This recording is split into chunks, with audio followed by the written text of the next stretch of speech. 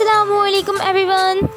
In this video we will discuss about why a large ship floats on surface of water in the sea however a needle sinks in water.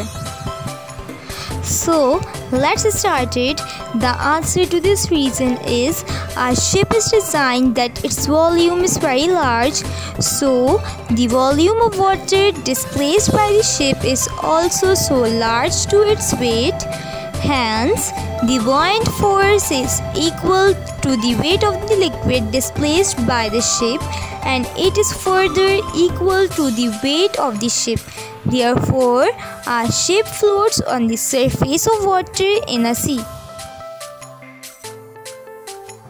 And the answer to the reason that why iron needle sinks in the water is an iron needle is shaped that its volume is so small hence the buoyant force is so small to the weight of the liquid displaced by the needle and buoyant force is also less than the weight of the needle Therefore, a ship will float on the surface of the water in a sea and an iron needle sinks in the water.